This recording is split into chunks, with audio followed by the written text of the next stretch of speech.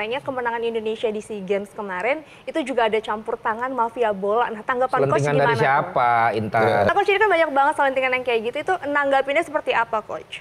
Kalau persepsi orang mungkin bisa macam-macam ya, tapi saya hanya konsen bahwa saya dikasih tugas yang saya mulai dari 1 Maret itu adalah bagaimana membangun tim dengan baik.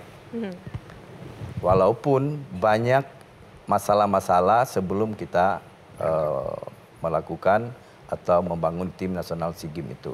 Tetapi ya tugas pelatih memanage semua permasalahan itu. Oleh sebab itu, saya dengan eh, para pelatih dan itu saya keluarkan di statement saya dan itu menjadi eh, masalah oleh tim-tim lawan bahwa fase grup akan saya jadikan untuk latihan dan seleksi pemain, mencari pemain terbaik untuk Menghadapi. semifinal dan final.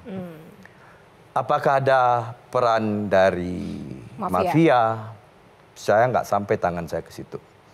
Tapi yang jelas Indonesia bukan dimenangkan oleh mafia.